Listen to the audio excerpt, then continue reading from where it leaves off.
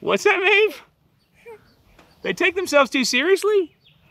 I'm going to talk about why it's so dangerous spiritually that you take yourself too seriously, the virtue you've never heard of that will help you stop, and why I have half a beard.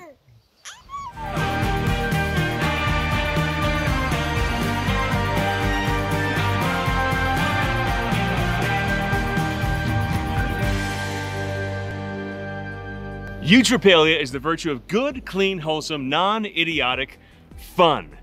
And it's really more difficult than it might seem. You see, because your brain did not evolve to help you just have fun. Your brain evolved to keep you alive. And that means your brain evolved to take you very, very seriously.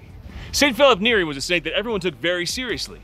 In fact, everyone regarded him during his lifetime as a living saint. And he was invited to this big reception where all the top brass of Rome was there, both from the state and from the church, and he showed up with half his beard shaved.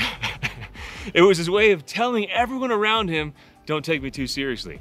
It was his way of rejecting worldly honors and not taking himself too seriously.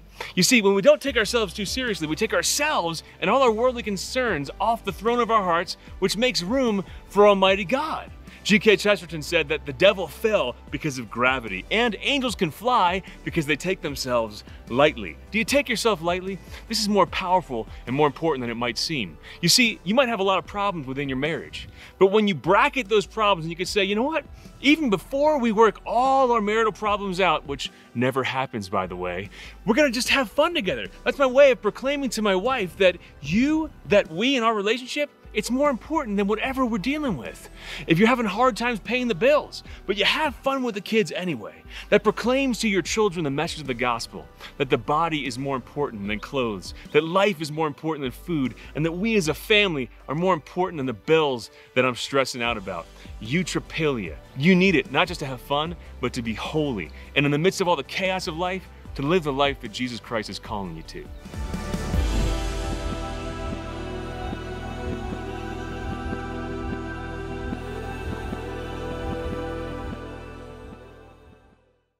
Subscribe to my grandpa's YouTube channel and share this video with lots of friends because we love you.